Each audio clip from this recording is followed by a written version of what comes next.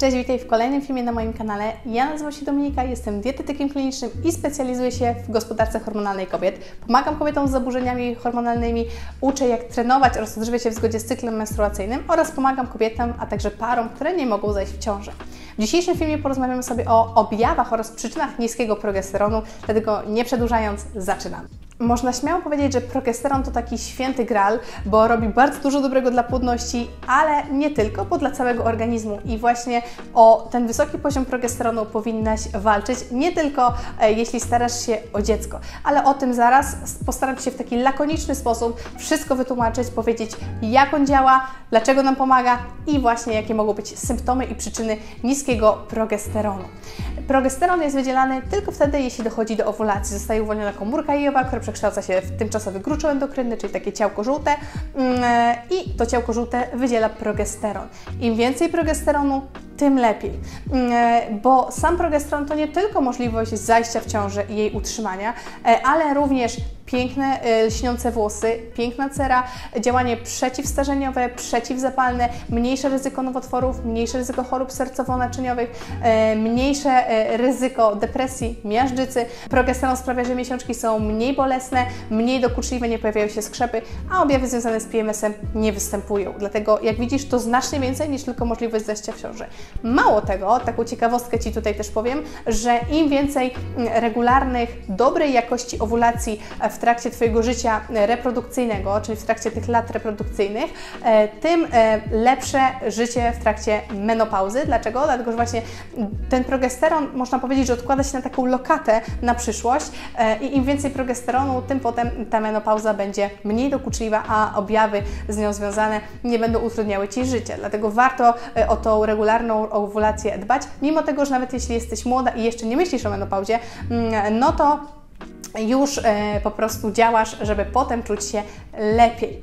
E, jakie mogą być objawy niskiego e, progesteronu? Bo ja już powiedziałam Ci o tym, jakie są korzyści tego, że ten progesteron e, jest wysoki. Do objawów niskiego progesteronu zaliczamy dokuczliwe objawy związane z napięciem przedmiesiączkowym. Przypominam też, że PMS w zdrowym cyklu menstruacyjnym nie powinien występować.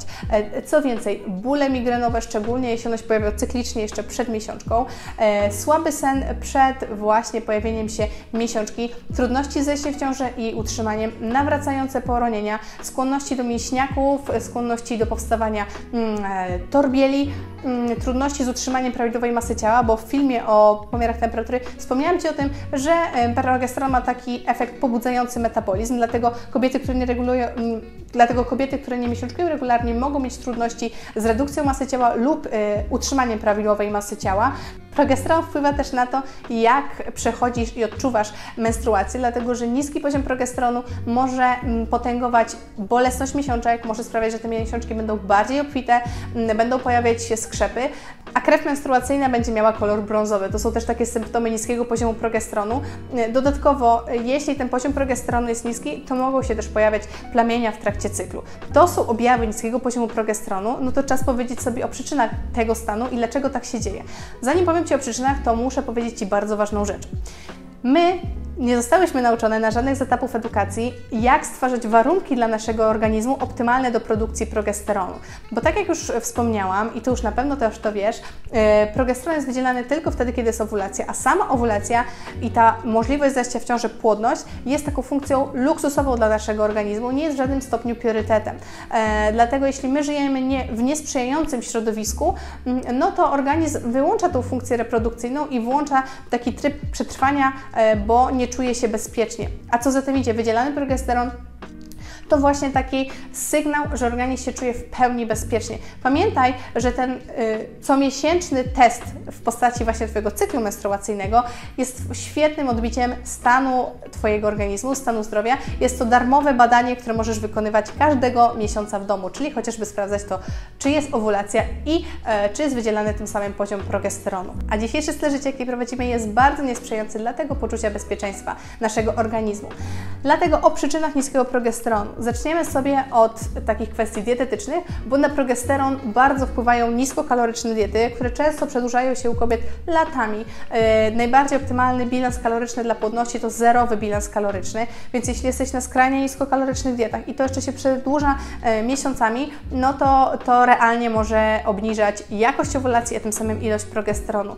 Yy, niska ilość kalorii to jest jedno, ale również na progesteron może oddziaływać niska jakość składników odżywczych, więc jeśli Twoja dieta jest uboga e, właśnie w składniki odżywcze, a szczególnie magnez, witaminę B6, witaminę B12, żelazo, cynk, selen, e, to nie bądźmy zaskoczone, że poziom tego progesteronu jest niski. Pamiętaj, że możesz być niedożywiona zarówno pod względem ilości kalorii, ale także jakości składników e, odżywczych. Można mieć nadprogramowe kilogramy i nadal być niedożywionym, bo nie liczy się tylko ilość kalorii, wbrew obiegowej opinii, mm, bo dla płodności są bardzo ważne składniki odżywcze i jakość tego pożywienia.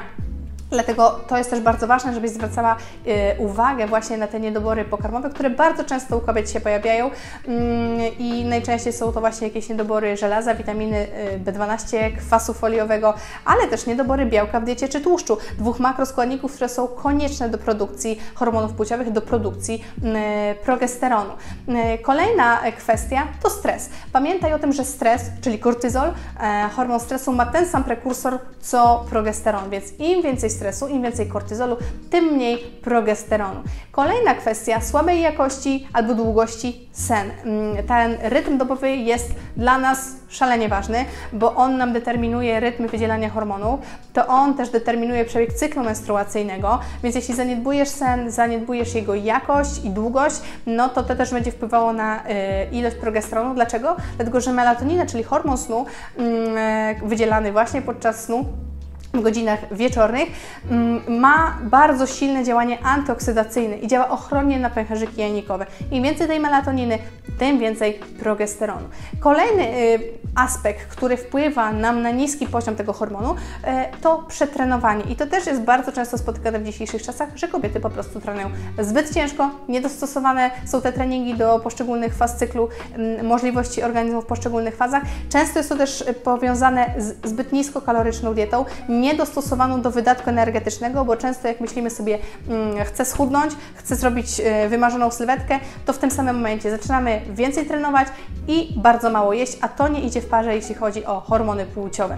Mm, e, kolejny aspekt to aktywne stany zapalne, jak chociażby w przebiegu e, choroby autoimmunologicznej, na przykład Hashimoto. Dlaczego? Dlatego, że nasz organizm w takiej sytuacji, on się nie skupia na owulacji i rozmnażaniu, bo zostało zachwiane poczucie tego bezpieczeństwa, tylko skupia się na gaszeniu tego stanu zapalnego, który się dzieje na przykład w obrębie tarczycy. Więc jeśli masz problemy z tarczycą y, albo, albo inną chorobę autoimmunologiczną w obrębie innego narządu, to pierwsze, co powinnaś zrobić przy niskim y, progesteronie, wyprowadzić właśnie tą autoimmunologię, wprowadzić ją w remisję.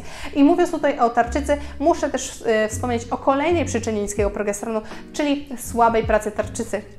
E, I często właśnie kobiety z niedoczynnością albo nadczynnością również mają zaburzenia tego cyklu menstruacyjnego. Mało tego, zaburzenia pracy tego gruczołu są najczęstszą przyczyną zaburzeń cyklu menstruacyjnego e, u kobiet. Kolejna kwestia to wysoka insulina, e, zaburzenia na tle tej gospodarki glukozowo-insulinowej. Pamiętaj, że receptory dla insuliny znajdują się również na jajnikach, więc jeśli mm, masz problemy z gospodarką cukrową, to w pierwszej kolejności powinnaś się nimi zająć, jeśli chcesz przywrócić dobrej jakości owulację i wysoki poziom progesteronu. Co również może wpłynąć na poziom progesteronu, to na przykład hiperprolaktynemia, czyli wysoki poziom prolaktyny wyrzucany w sytuacji, kiedy organizm znowu nie czuje się bezpiecznie. Fizjologicznie prolaktyna jest wyrzucana w dwóch stanach, w trakcie karmienia piersią oraz w ciąży. Jeśli nie jesteś w żadnym z tych dwóch stanów, a masz wysoką prolaktynę, no to warto by się zastanowić, i nie jest to mikrogruczołak przysadki, to warto by się zastanowić, dlaczego organizm wyrzucił prolaktynę, e, dlaczego nie czuje się na tyle bezpiecznie, żeby doprowadzać do owulacji, a tym samym wydzielania progesteronu. Mm, również na poziom progesteronu mogą wpłynąć podróże, więc teraz w okresie wakacyjnym e, to jest szczególnie często spotykane, że są jakieś wahania w tym cyklu menstruacyjnym, może się pojawiać opóźnienie ovulacji, osłabienie tej ovulacji, albo w ogóle może jej e, nie być. E, wpływa na to stres, wpływa na to zmiana klimatu, wpływa na to zmiana stref czasowych, długie podróże i to wszystko będzie skutkowało niskim poziomem progesteronu. I ostatnia przyczyna niskiego poziomu progesteronu to antykoncepcja hormonalna, bo antykoncepcja hormonalna ma po prostu na celu zablokowanie całkowite owulacji lub tylko częściowe, a co za tym idzie wydzielania progesteronu. Tu też taka mała ciekawostka, jeśli przyjmujesz antykoncepcję hormonalną, to nie ma sensu badać poziomu progesteronu, w ogóle nie ma sensu badać hormonów, bo po prostu przez cały czas przyjmowania antykoncepcji te hormony są wyłączone. Jeśli objawy niskiego progesteronu Ci towarzyszą i potrzebujesz kompleksowej wiedzy, jak po prostu podwyższyć ten poziom progesteronu i zadbać o owulację, to właśnie e, wypuściłam mini kurs o tym, jak przywrócić regularną, dobrej jakości owulację i podnieść poziom progesteronu. Ten mini kurs jest już dostępny na moim sklepie, na pewno podlinkuję Ci to w opisie mm, e, pod filmem. A jeśli ten film był dla Ciebie pomocny, to koniecznie daj mi o tym znać w komentarzu lub zostaw łapkę w górę. A jeśli jeszcze nie subskrybujesz mojego kanału, to koniecznie nadrób te zaległości. Ja bardzo dziękuję Ci za oglądanie. Jeśli temat progesteronu Cię też interesuje i chcesz zgłębiać yy, właśnie yy, tematykę podniesienia poziomu progesteronu, to na moim kanale są już filmy yy, trzy o suplementacji, diecie i takich yy, dziewięciu prostych sposobach, żeby ten progesteron podwyższyć i do tych filmów się serdecznie zapraszam. My widzimy się w kolejnym materiale na moim kanale. Do zobaczenia. Cześć!